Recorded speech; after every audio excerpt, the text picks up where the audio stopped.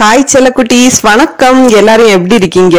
இப்போ வந்து கேரளாவில் உள்ள வீட்டோட பால் காய்ச்சல் ஃபங்க்ஷன் எப்படி நடக்குதுன்னு பார்க்க போகிறோம் ஃபஸ்ட்டு வந்து அந்த வீட்டோட கான்ட்ராக்டர் வந்து வீட்டோட உரிமையாளர்கிட்ட சாவி கொடுக்குறாரு. வீட்டோட உரிமையாளர் அதற்கான செக்கை கொடுக்குறாரு. வீடு கட்டி இருக்கிறதுக்கான செக்கு.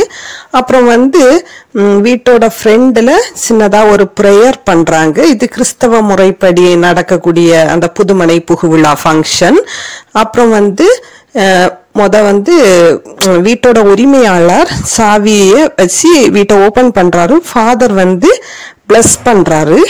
தண்ணீர் வைத்து பிளஸ் பண்ணுறாரு தீர்த்தம் தெளித்தல் அப்படின்னு சொல்லுவாங்களே அதான். அப்புறம் வந்து ஃபாதர் ஃப்ரெண்டில் வீட்டுக்குள்ளே போகிறாரு அதை தொடர்ந்து வீட்டோட உரிமையாளர் கேண்டில் ஏற்றி பற்ற வைத்து வராங்க.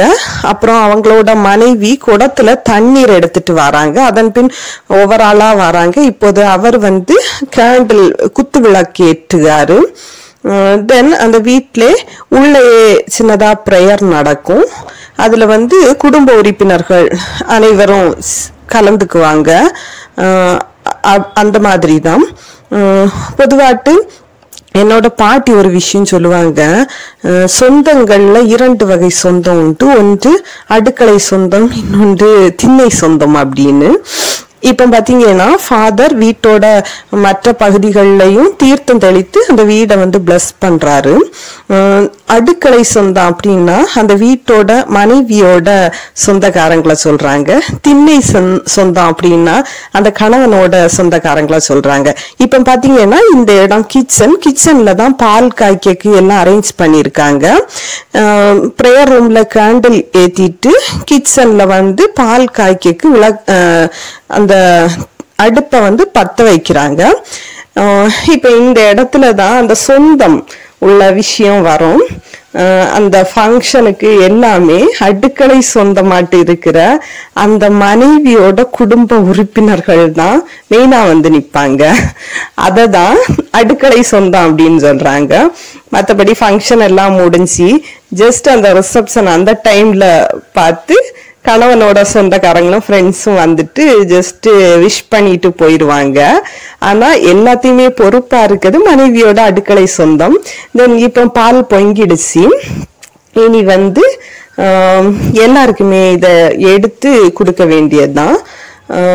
பால் நல்லபடியாக பொங்கிட்டு இப்போ வந்து மனைவியோட ரிலேஷன்ஸ் எல்லாரும் கூடவே இருந்து நல்ல விஷயமா சொல்லி வாழ்த்துறாங்க. அதுல ஒரு ஹாப்பினஸ் அவங்களுக்குள்ள ஒரு பாண்டிங் நிறைய நாள் தாண்டி நேர்ல மீட் பண்ணும்போது இருக்கிற அந்த ஒரு கிண்டல் கேலி அதெல்லாமே ஒரு வித சந்தோஷம் தான் இந்த இடத்துல தான் அடுக்களை சொந்தம் அப்படின்னு உள்ள ஒரு விஷயம் வந்து பலப்படுது.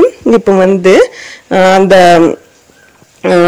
பால் காய்ச்சினதை எடுத்து அங்க வந்திருக்க எல்லாருக்குமே கொடுக்குறாங்க. கொடுக்கக்குன்னு ரெடி ஆகுறாங்க. இது வந்து ப்ரேயர் ரூம் இப்போ பார்த்தீங்கன்னா இது அவங்க அந்த மனைவி அவங்களோட ச- அக்கா தங்கச்சி இருக்கிறாங்க. இப்போ எல்லாருக்குமே டிஸ்ட்ரிபியூஷன் நடக்குது. இப்போ வீட்டோட ஹாலில் இருந்து எல் குடிச்சிட்டு இருக்கிறோம் உறவினர்கள் இணைந்து. பால் குடிச்சு முடிக்கிறோம். இதுக்கு அப்புறமாட்டு இன்னொரு வெளியே வந்து என்ன பண்ணுறாங்க அப்படின்னா அந்த வீட்டுக்காக வீட்டு வேலை செய்யும் போது வந்த ஆட்களுக்கு எல்லாம் பால் கொடுக்குறாங்க.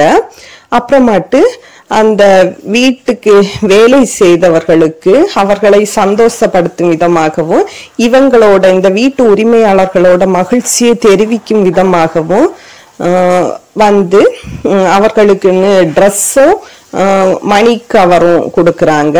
அவங்களுமே அதை ஹாப்பியாக வாங்குறாங்க. இது வந்து மேக்சிமம் எல்லா இடங்கள்லையும் இந்த ஒரு முறை வந்து இருக்குது. அப்புறம் இது வந்து ஃபுட்டு சாப்பிடுக இடம். பஃபே சிஸ்டம் அரேஞ்ச் பண்ணியிருக்காங்க. இதில் வந்து கேரளாவிலே ஸ்பெஷலாக இருக்க ஆப்பம் குருமா தென் இன்னும் சில டிஷ்ஷஸ் இருக்குது fried rice with chicken gravy இருக்குது இன்னும் இது வந்து பால் காய்ச்ச டைமுக்கான ஃபுட்டு லஞ்சுக்குன்னு இன்னும் எக்ஸ்ட்ரா ஃபுட்டு வச்சுருந்தாங்க. நல்லா இருந்து. அதை எல்லாருமே வந்த குடும்ப உறுப்பினர்களும் வேலை செய்தவர்களும் நண்பர்கள் உற்றார் சூழ வந்து வாழ்த்தி நிறைவாக மன நிறைவாக சாப்பிட்டுட்டு போனாங்க. அது வந்து நம்ம தமிழ்நாட்டை ஒப்பிடும்போது அங்கே வந்து சின்ன சின்ன முறைகளில் மாற்றம் தே இருந்ததாட்டு நான் நினைக்கிறேன். பொதுவாக நம்ம நாட்டில் வந்து ஹாலில் வீட்டோட ஹாலில் இருந்து பால் காய்ச்சல் ஃபங்க்ஷன் இருக்கும். அங்கே வந்து கிச்சன்லே பண்ணாங்க. மற்றபடி மேக்சிமம் ஒன்றா தான் இருந்து. இந்த வீடியோ பிடிச்சிருந்ததுன்னா லைக் பண்ணுங்க. இங்கே இது வரைக்கும் சப்ஸ்கிரைப் பண்ணலைன்னா சப்ஸ்கிரைப் பண்ணி